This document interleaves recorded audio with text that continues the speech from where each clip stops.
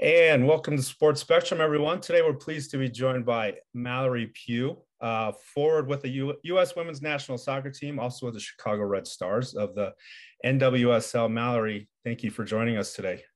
Of course, thank you for having me. This is super it's, exciting.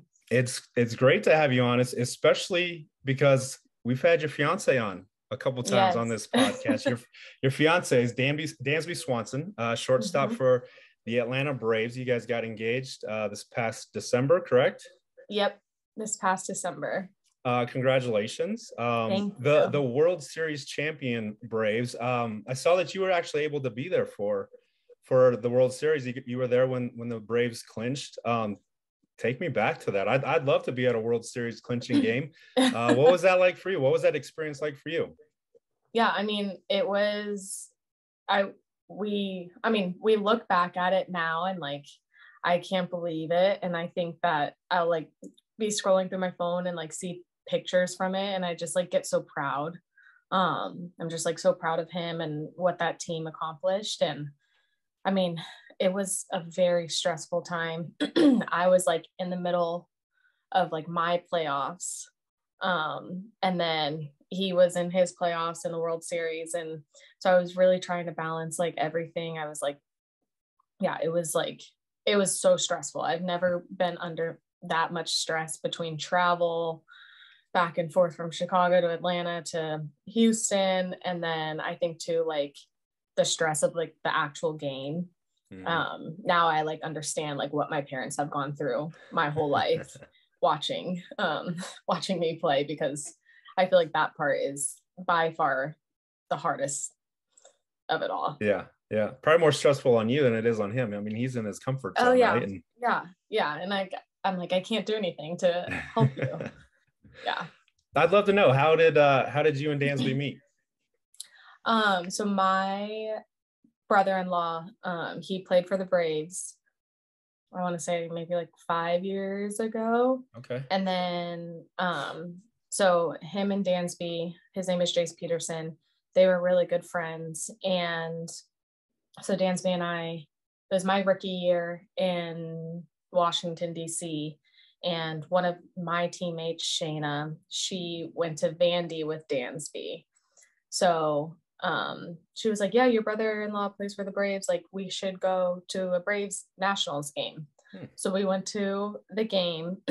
and then I met Dansby after the game didn't really like think anything of it um and then and then he like fast fast forward like four months or whatever he was at my sister's wedding and then okay. yeah so at my sister's wedding we like kind of hit it off but the first time we actually like met each other was like four months prior um gotcha. after one of his games awesome very cool very cool yeah. was that shayna matthews yes, yes. okay She's married to uh, Jordan Matthews, an NFL yep. player. Awesome. Yeah. okay. Um, well, so it was actually a post uh, that I saw from you on Instagram um, mm-hmm. right after the World Series that really that that made me stop and say, like, man, we got to talk to Mallory. Um, this this was this was before you got engaged, uh, but before he proposed to you, but but um, right after the World Series, this is this is what you wrote. It was about as a picture of Dansby um, mm-hmm. and some pictures of you guys with together, and said, "This man right here, he inspires me every day." Yeah, he's a great baseball player, but if anyone knows him, he's an even better person. He helps me live out my faith in Jesus. God's plan for him hasn't been easy. This game of baseball has driven him crazy at times, but one thing that he always goes back to is our Savior. It's the faith and trust in God during trials in a season that most people don't see. It's becoming the man that God made him to be. And finally, it's him giving God, giving all the glory to God. I love that. I love that um, because one, you're a professional athlete. You see there there are, there are many sides of athletes that you know the general public doesn't see, and you have that, but you also see that with with Dansby. Um, mm-hmm. and, and, you're right, Dansby was often quick to give to give glory to God. Um, but I want to go back to one thing that you said there about him helping you live out your faith in Jesus. Uh, mm-hmm. Can you mm-hmm. explain what you meant by that?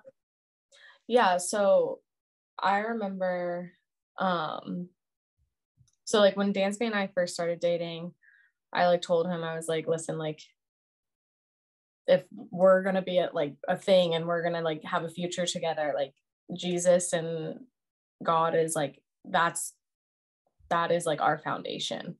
Um and i think it's just i look back at like the past four and a half years and it's just it's amazing how much like growth that we both have had in our faith. Um he i know i've helped him and he's helped me.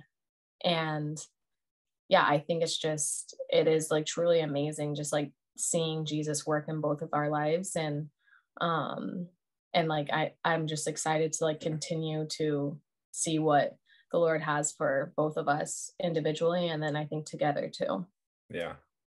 That's awesome. That's so that's that's what we love here at sports spectrum um you know where where sports and faith connect. So I, would love to hear more about your faith journey. Like where did that begin for you? Um can you kind of take us through how you came to faith in christ yeah so i like always grew up um i grew up in the church i feel like i feel like a lot of people that i like listen to like their testimonies it's kind of like everyone's is like the same um but yeah i grew up in the church um went to church every Sunday, or if I didn't have soccer, we would go to church. But, um, and then when I left, so I've always had like a background, but mm-hmm. I wouldn't necessarily say like I had like a true relationship that I have now with God.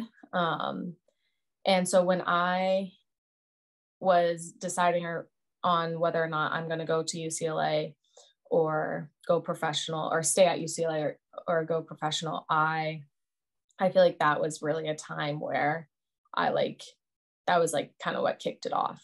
Um, I like really gave it all to God. Um, I was in LA with one of my best friends, Annika, and she she was really the one person that like helped me um, make that like big life decision and um, I look up to her too because she is um, she's just like a follower follower of Christ and um, the way she lives her life and even now I look up to her just with little things. Um, but yeah, so she uh, we would go to church in LA and then um, so that kind of like kick started it and then I don't know I look through I look back and I feel like it just was kind of like kind of like a snowball effect. Mm-hmm. It kind of just like took off. And then I think really, uh, well, at the fall in the fall of 2020, um, I got baptized.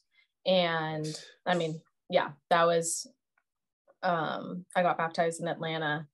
And that was obviously just like a symbol of like outwardly showing mm-hmm. that.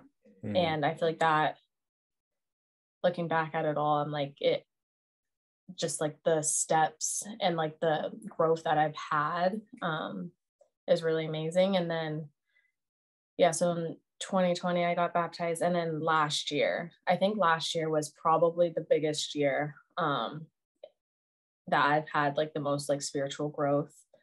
Um, so last year, at the beginning of the year, I was, I got injured at national mm-hmm. team camp and which was very devastating because the olympics were coming up mm-hmm. and then kind of like healed the injury a little bit and then i went back into national team camp and hurt the same thing um, but this time it was like much worse so really at that point like the olympics were kind of like out of my reach mm. um, it would have had to be like a miracle and then mm-hmm. i just remember like asking God, I was like, why, like, why is this happening? Um, I feel like you always ask why. And mm-hmm.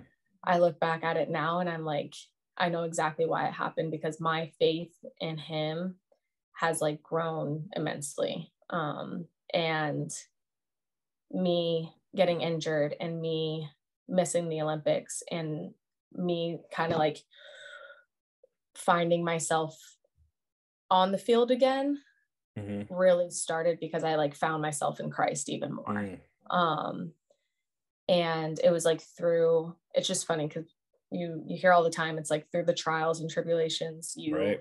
yeah have the most growth and it really is like so true um so yeah i yeah last year was like definitely the year that like i've had the most growth and like it, it was my it's been my favorite year of my life so far really um yeah for sure because i um the year started off so terrible and then i just really found my relationship with god and like re- it just like really took off and um there's just like not like i wouldn't want it any other way now and i can't yeah. see it any other way so mm-hmm. yeah that's awesome yeah that, that was one thing i wanted to ask you because I, I was i was um I saw another Instagram post that you that you had, and and it was after mm-hmm. your NWSL season ended, mm-hmm. and um, you know, you said, well, first of all, one thing you that that stood out was you, you said, if I'm being completely honest, at the beginning of the year, I didn't know if I was going to play the game that I loved again, yeah. and so that was at the that you know you, you alluded to the tough year that that 2021 was, um, mm-hmm. but you got to the point where you almost thought you might not play soccer again. Yeah. Um I just feel I felt like I was like I felt like almost like my identity was like so wrapped up in soccer and then mm-hmm. like when when things are taken when the game is like kind of taken away from you you're like okay like you start questioning you're like am I actually supposed to be doing this yeah. um and I feel like God he took that away from me so I could go find him mm-hmm. um mm-hmm. and that I could have a deeper relationship with him and that I could not live without him.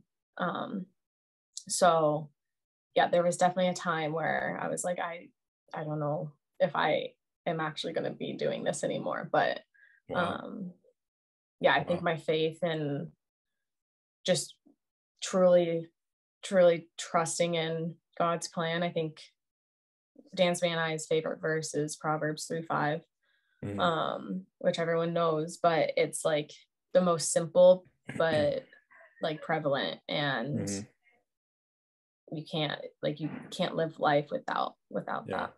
Yeah. That's awesome. That's awesome. So i i i love hearing that because uh, you, are right. I mean a lot of times you know trials do draw us closer to the lord and that's sometimes how god draws us closer to him is is through trials. Um i love that that perspective that you have.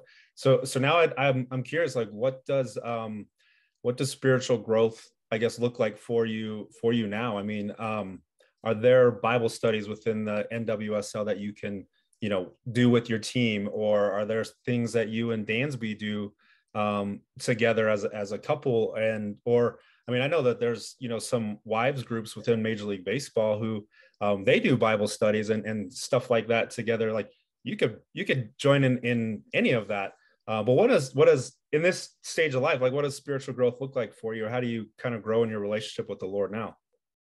Yeah, I think it's definitely through those trials. Mm-hmm. Um, but one thing that I learned, I remember last year, I like listened to a podcast and it um it was Lauren Akins. Um, she was talking about just like community and like mm. how important community is.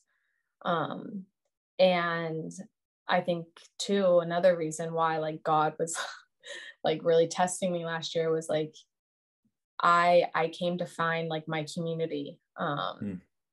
and that was and i've never had i've never like truly had that um in this game and we have in at chicago we have a bible study group and our chaplain there is like absolutely amazing mm. um she is a rock star. I love her so much. But um, so that that group really mm-hmm. helped me grow too. Um, and then because I mean, with that too, there's like so many different people with um with their levels of their faith or whatever. Like some mm-hmm. were just like curious about it. Mm-hmm. So um yeah, I I just like the group of girls that we had was just so amazing. And then I still have that same group and it's um I think it just goes back to like the importance of like community and like how that can help grow your spiritual growth um spiritual growth and then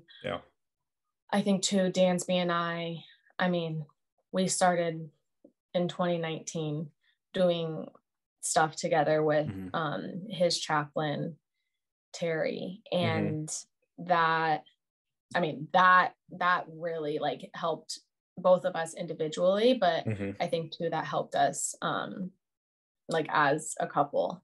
Yeah. And I think that so doing stuff together too helps. And then I think too, I think for me, I like doing it some stuff individually Yeah. as well. So yeah, I I don't know. I feel like it's all three of those. It might sound like a lot, but like I can't see it really any other way. Yeah. That's awesome. That's great. So, um, so now you are, um, your NWSL season will get going here um, in full swing here pretty pretty soon. Um, back with the the U.S. national team. Um, this this year, 2022, has started off, I guess, better than last year, at least for you on the on the field. Um, Yeah. I would I would imagine that you know the World Cup, the Wo- Women's World Cup is next summer, um, going to be in 2023 and in Australia and New Zealand. I assume right now that's a goal of yours to put yourself in a position, do the the best you can to make sure you're on that team. Yeah. So one thing I did learn was like through this whole like process Mhm. um, of kind of like finding myself again on the field, but also like the spiritual growth that I've had was just like letting it, let it, letting God take it all, Yeah. letting Him Yeah. um, take it all and whatever whatever he wants me to do like i'm going to do um and i feel like that that can be hard sometimes because you might not necessarily want to do something um or you might want to do it a different way but i think that's where just the obedience and the faith has to come in um Mhm. to him and so yeah i feel like obviously goals are goals and but i'm really trying now just to like stay present um and present and where he has me um and where my feet are placed right now because i feel like i i'm like what what's what's my mission right now like how can i better serve you and better grow your Hmm. kingdom right now so Yeah. That's great. yeah. Um, so what's what's crazy to me is you are only 24 years old. You are Mhm. um, you you've made over 70 appearances for the national team. Uh, debuted at the net with the national team when you were 17. Uh, later that year, played in the Olympics. Uh, then you debuted with the in, as a professional when you were when you were 19. You right you stayed at UCLA for for a few months and then decided to go pro. Um, Debut at at 19. You play in the World Cup at 21 years old. Um, you're a veteran. Do you, do you feel do you feel like a veteran at 24 years old? um kind of like i don't know i i mean yeah i've been doing this for a while now um Yeah. i've i have experience um Mm-hmm. but i don't know i i also like i i feel like age is just a number you know Right. and Yeah. um i think it really just comes down to experience and so i guess you could say with with the experience that i have you can say that i am a veteran but i don't necessarily like look at myself as one Yeah. Well, your um like I said, your season is is about to kind of get into full full swing, and obviously that's a, a huge priority of yours. Um, and again, you're you're a you're a baseball wife, or well, a future baseball wife. Um, Dan's your seasons are basically the same time. Your your Mhm. season is basically the same amount of time as as Dansby. So I'm just curious to how what does that look like? Um, how do you guys see each other um communicate how do you guys get together like what is your relationship like in the midst of your professional seasons yeah it's definitely crazy um Mhm. we live a crazy life but i'm very we're both very grateful that we get to live this life um yeah it's it's definitely um it's crazy and it's hard but yeah i i'm usually the one that has to do the traveling just because my my schedule is like a little bit more flexible Mhm. um i mean they play every single day and i mean most we train pretty much every single day but we only have a Mhm. game once a week okay so yeah um yeah usually we'll see each other like once a week or okay. once every two weeks. So it's really not that bad. I'm the one that has to travel which is fine. Um it definitely gets tiring but yeah. I I figured out the system right now. Um yeah, but it is it's nice though because as we i mean we both we do both have the same season. Mm-hmm. so then we have the same off season. Yeah. um my stuff goes a little bit longer and starts a little bit earlier but um i have some of my teammates and their significant others play in the nfl and mm-hmm. they it's nice to have them too because it like we can like relate to each other but they yeah. like their seasons are separate but mm-hmm. also mm-hmm. they they don't get that much time like without sports together yeah. yeah. so um yeah but it's it's definitely like a balance but we i mean i feel like we figured it out by now. Um so yeah we'll see kind of what the future holds um yeah. with baseball and soccer and stuff but yeah. again god has that all planned out. Yeah that's great. That's awesome. Um well uh last question I want to ask you, um, and thank you again for your time, Mallory. Um, one that we ask a lot of our guests here on Sports Spectrum is just, you know, in this in this season of life that you're that you're in right now, there's a, there's a lot going on. You you alluded to it. You know, there's crazy season or crazy schedule with with your mm-hmm. soccer season and Dansby's baseball season. Um, a lot going on. But what is it that you feel? Like, what is the Lord teaching you? What what is it that you feel God is teaching you right now in this in this season that you're at. I know he taught you a lot last year with the, the yeah. trials that you faced last year. Um, but where you're at right now, um, almost midway through 2022, what do you feel like God's teaching you right now? Oh, yeah, that's a great question. Um, I feel like every day I I really um ask him, I'm like, what is my purpose? Because I know it's I know it's more than just being a soccer player. Um, so I I I feel like right now I'm just kind of asking for clarity um, mm. From him and clarity on where like where it is and what what it is that he sees me doing and like what exactly my purpose is. I think that can be definitely a difficult question and I feel like a lot of people battle with that. Um, and then I also think that he's teaching me just to be present.